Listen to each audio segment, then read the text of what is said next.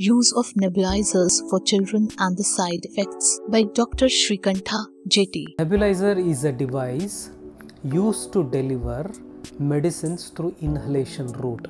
That means the way we take tablets and syrups, the same way if I have a problem in my breathing pipes as well as lungs, I can directly deliver the medication into the breathing pipe as well as lungs through inhalation route through a nebulizer.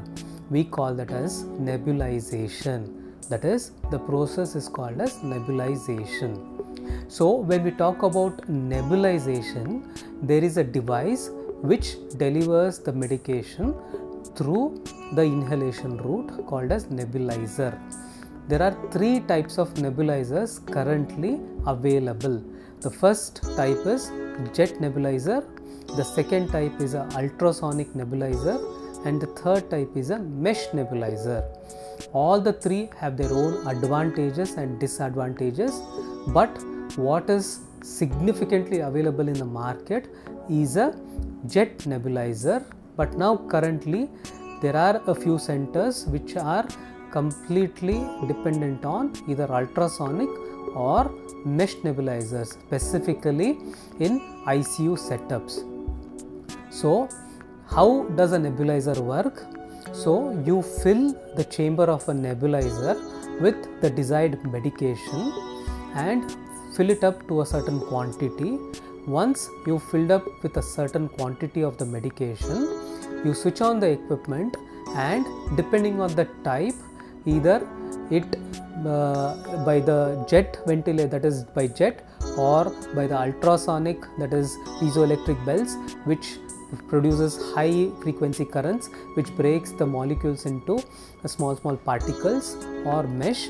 It delivers medicines through inhalational route. So when we give it when we switch on the machine the liquid inside through something called as venturi effect is broken down into small small particles and these particles are pushed through a through either oxygen or sometimes the pump which is delivering the uh, medicine to the patient or the person who's using it. So, this is how a nebulizer works.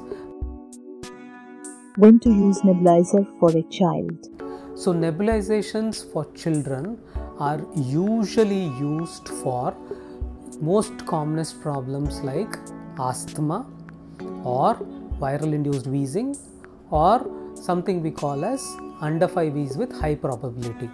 So, when do we use? That is a very important question. And how do you use? That is also an extremely important question. What we have seen is each and every one having a nebulization machine at home, which is absolutely outrightly something that should not be done because when a child is wheezing and you are giving nebulization to a child can be salbutamol or levosalbutamol without oxygen the child can develop something called as reflex bronchospasm. That is rather than breathing pipes becoming bigger the breathing pipe can eventually become smaller. That is called as reflex bronchospasm.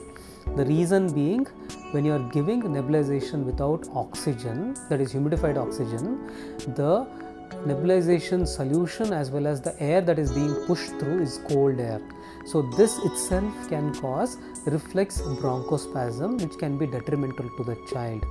At the same time when you give nebulization without oxygen there is something called as VQ mismatch that is breathing pipes which are connected to the balloons which actually help in oxygen and takes out the carbon dioxide from your body they start opening up without actually carrying the blood to those particular areas. That is called as VQ mismatch. Again reiterating areas which are not ventilated now gets ventilated.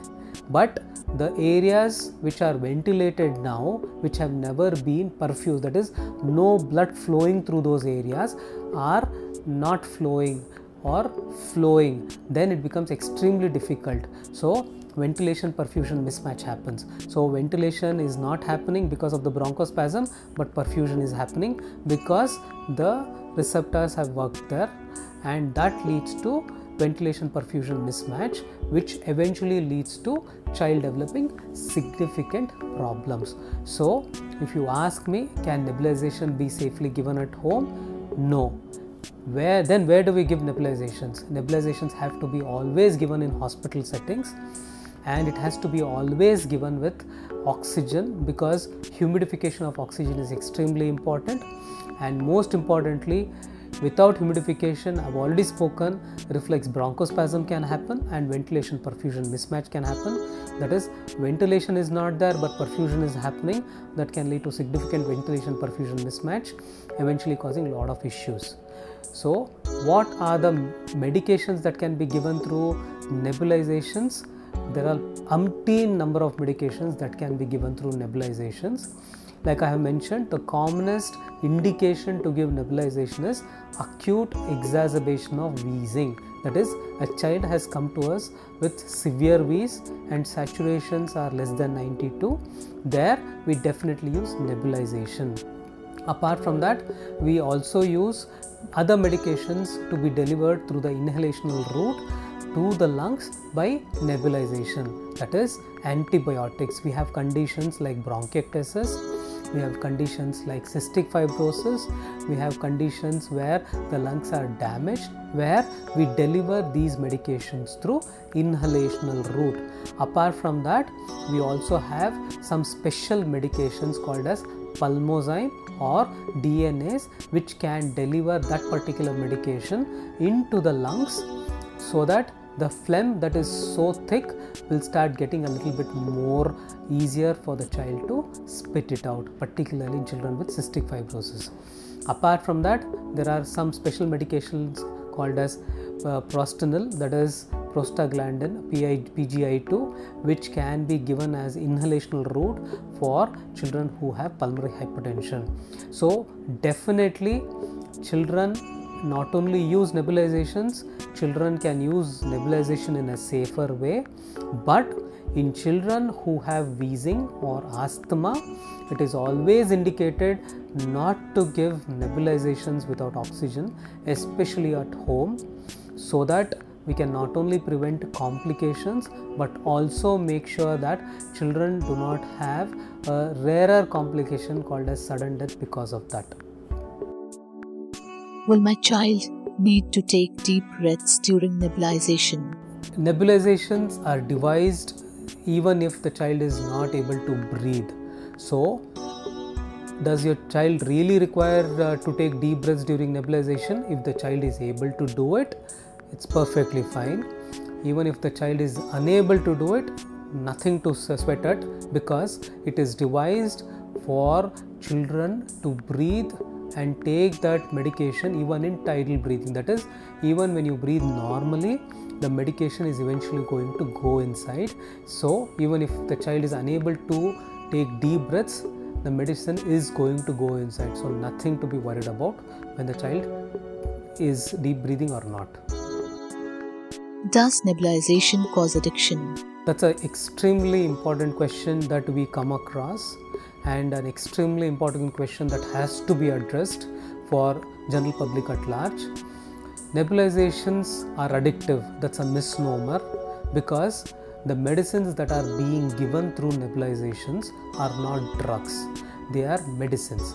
The way elders take their diabetes and BP medications, the same way nebulizations are given to children only and only when they require it.